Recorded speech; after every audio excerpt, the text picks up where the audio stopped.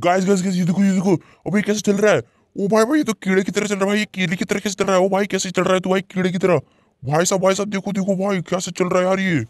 सो so, अगर आपको मेरे जैसा कीड़ा बन के अपने दोस्तों को चौंकाना है तो यार वीडियो को एंड तक ज़रूर देखो वीडियो को स्किप मत करो वरना आप अगर स्किप करोगे तो आपको यार कुछ भी समझ में नहीं आएगा। तो चलो यार वीडियो को स्टार्ट करते हैं। सो so, अगर आपको ये ट्रिक आजमानी है तो सबसे पहले आपके पास यार एक स्कोप वाली गन होना बहुत ज़रूरी है। अगर आपके यार स्कोप वाली गन नहीं होगी तो मान लो one M one eight seven जैसी गन जिनमें स्कोप नहीं होती ऐसी गन होगी तो यार आप ये ट्रिक आजमा नहीं पाओगे। सो so, ये तो हो गई सबसे मेन पॉइंट अगर आपके पास स्कोप वाली गन होगी तो आप नहीं आजमाएगा अगर सेकेंड बात ये है इस ट्रिक करने की। सो इस ट्रिक के तीन मेन स्टेप से। पहला स्टेप है जंपिंग सो गैस दूसरा स्टेप है हमारा रनिंग और गैस तीसरा स्टेप है हमारा स्कोप ठीक है? तो गैस ये तीनों के तीनों स्टेप जो है, बहुत ज़रूरी है। अगर आप तीनों स्टेप अच्छे से कर लेते हो तो आप आराम से कीड़ा बन पाओगे। ठीक है? तो सबसे पहले आपको जो है जंपिंग बटन पे क्लिक करना और जैसे आप जंपिंग बटन पे क्लिक करते हो, वैसे आपको रनिंग और स्कोप ये दोनों के दोनों, ये दोनों जो बटन है गैस इन दोनों पे आपको बहुत जल्दी करना पड़ेगा, तभी आप कीड़ा बन पाओगे, वरना आप कीड़ा नहीं बन पाओगे, ठीक है? सो देखो, मैं आपको कीड़ा बन के एक बार दिखा देता हूँ, ठीक है?